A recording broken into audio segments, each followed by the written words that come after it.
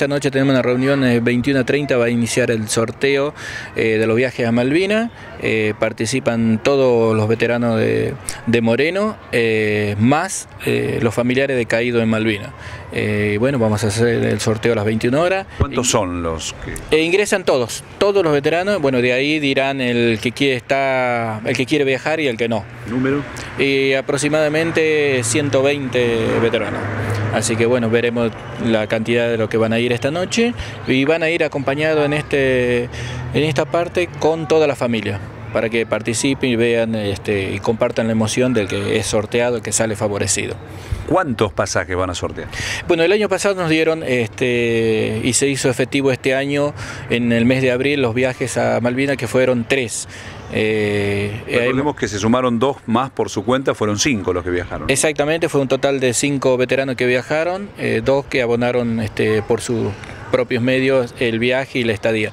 Y bueno, vamos a elegir en esta oportunidad, haciendo el mismo sistema del año pasado, tres y tres suplentes, que vendrían a ser seis. Eh, pero lo pedido, lo solicitado al, Ejecutivo, al Intendente Mariano es, este, es una mayor cantidad. Así que bueno, esperaremos si nos otorga más cantidad, haremos nuevamente el sorteo para los que, que siguen o incorporaremos a los suplentes.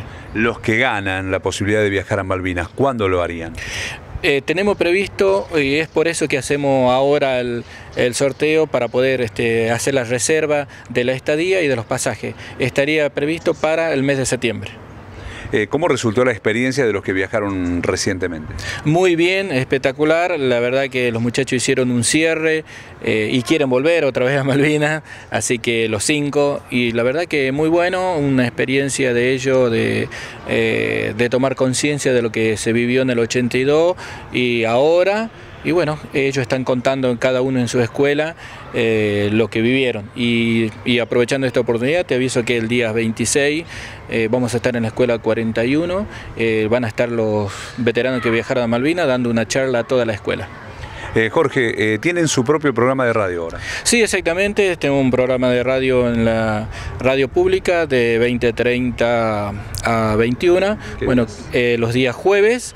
Bueno, estamos la idea de, los veteranos, de los invitados, es contar la historia y las vivencias de cada uno de los en Malvina. Así que bueno, este, estamos trabajando en eso y bueno, el programa de radio eh, está saliendo ya el tercer programa.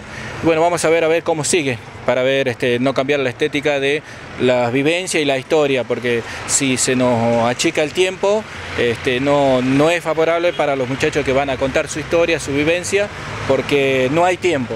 Entonces estamos viendo, trabajando sobre eso. Eh, Jorge, ¿se sigue haciendo las visitas al museo, el museo itinerante? ¿Cómo está eso? Sí, sí, bueno, el museo itinerante estamos esperando la, localidad que quiera que vamos, el establecimiento, la escuela, vamos a visitarlo y la sala museológica está abierta. Eh, para el colegio, la institución que quiera visitarla.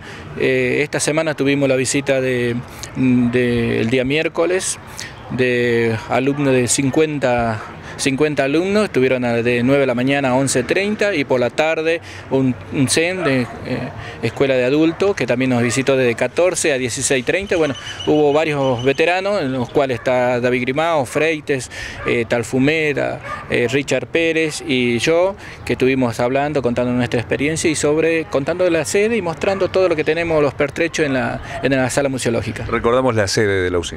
La sede queda al corta 247 entre Maipú y de La Quintana.